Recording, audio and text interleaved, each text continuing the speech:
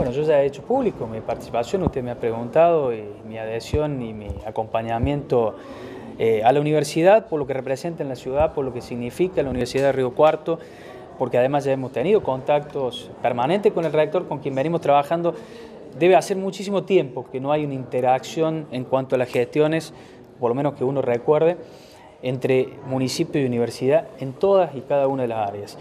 y nosotros valoramos y sabemos la importancia y la trascendencia que tiene nuestra universidad pública, la Universidad Nacional de Río Cuarto, en el desarrollo local y regional. Y por eso acompañamos y seguramente, como ya se lo he transmitido el rector en varias oportunidades, eh, junto con el resto de los intendentes del Gran Río Cuarto, estaremos este, recibiendo eh, lo que entiendo ha sido un pedido de, apoyo y adhesión, que ya lo hemos hecho público y por supuesto también aprovecho estos medios para ratificarlo.